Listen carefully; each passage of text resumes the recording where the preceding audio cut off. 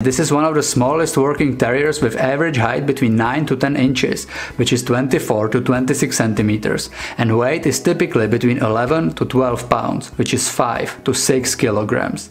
There are no extreme size differences between the males and females.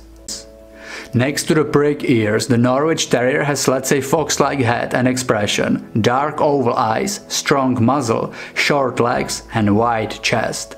The coat is wire and straight, but the undercoat is pretty soft. The coat on shoulders and around the neck forms a small mane.